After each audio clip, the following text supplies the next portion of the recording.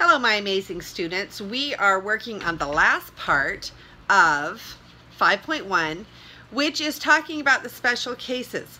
How do we determine that a line is uh, one of the special cases having either two parallel lines, which would have no solution, or a single dependent line meaning that both lines are actually the same line, they just don't look like the same line. So um, we're going to talk about these two right here when we have two parallel lines and when we have two lines that are actually the same line. And these are kind of our rules here. Okay, what about special cases? If we have the same slope and the same y-intercept, then we have the same line. If we have the same slope in the two lines, but different y-intercepts, then we have two parallel lines. So this is what we're going to go through with these two situations. Okay, so we're going to talk about some special case problems and how to recognize them. All right, so here we have a system of equations and they are both in standard form. So we've got our x term and our y term and on the other side of the equal sign we have our constant. So the first thing that we can do is check out our slope. So we know when we have something in standard form then the slope is negative a over b and the y-intercept is c over b where a is the coefficient of the x term, and b is the coefficient of the y term, and c is the constant that is at the end. Okay, so in the first equation, we'll call this equation 1, we have a negative a over b of negative 5 over a negative 2, and negative 5 over a negative 2 is 5 halves. Okay, so we have a y-intercept of 1 over negative 2. So our y-intercept is negative 1 half. Okay, so we have a slope of 5 halves and a y-intercept of negative 1 halves. Uh, we usually call our slope, we designate it with an M, and we designate our y-intercept with a small b, usually. Okay, so now we look at our second line here. We'll call this line 2. We look at line 2 and we are doing negative a over b to find our slope. Negative 10 over negative 4. And negative 10 over negative 4 reduces to 5 halves again. So we do have the same slope situation. Both lines have the same slope.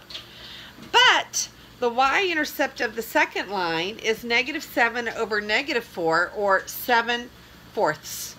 Okay, so the b of the second line is 7 fourths, which is not the same as the y-intercept, or the b, of the first line, which was negative 1 half.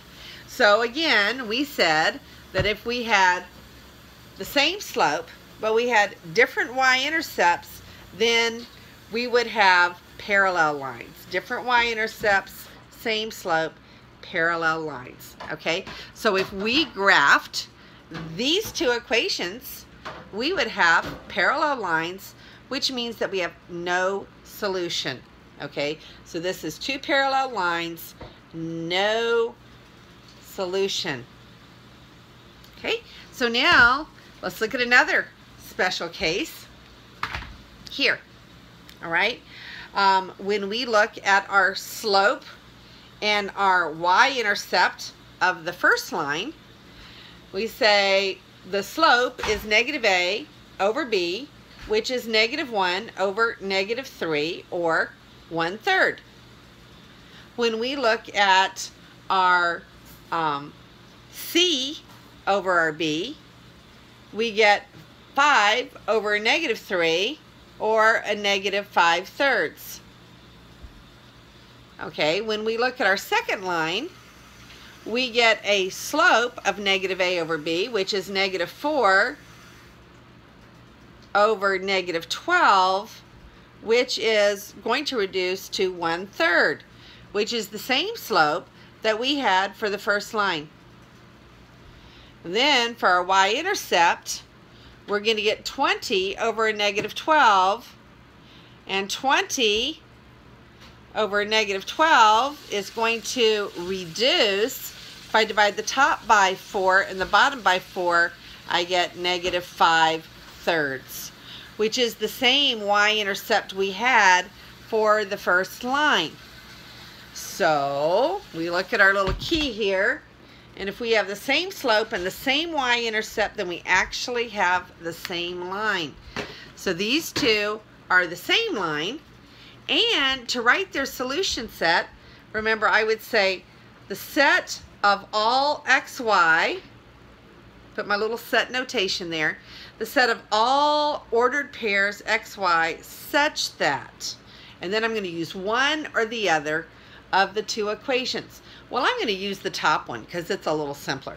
x minus 3y, x minus 3y is 5. And that's all you have to do to write the solution set of the problem. Just the set of all xy such that x minus 3y is 5. Now, look at your little hint here. We went through all of that work, but guess what? when we have a line, two lines that are actually the same line, one line winds up being a multiple of the other line. If you take this first line and you multiply by 4, guess what you get? 4x. Minus 3y times 4, negative 12. 5 times 4, 20. If you take each term or the whole equation and multiply it by 4, you get the second equation. They are the same line. Okay, so now let's look at the next one. Right here. And we have to figure out which situation we have. We have one line that's already in slope-intercept form. So I'm not going to change that one because when I'm looking to see what kind of solution set I have, I need a slope and a y-intercept. So this line is already in a perfect form. My slope is 3 over 5, and my y-intercept is 1. I'm going to look at this line. Okay, the slope is going to be negative a over b. So negative 3 over negative 5 is 3 over 5. So we have the same slope as we do up here. Now we check on the y-intercept. The y-intercept is c over b, which is going to be negative 6 over 5. And negative 6 over 5 is not the same as 1. Therefore, these two lines have the same slope, but different y-intercepts. Therefore, they will be parallel and no solution. The last one I have for you on 5.1 is right here. Okay, we're going to start with 2x plus 3y is 1 and 8x plus 12y is 4.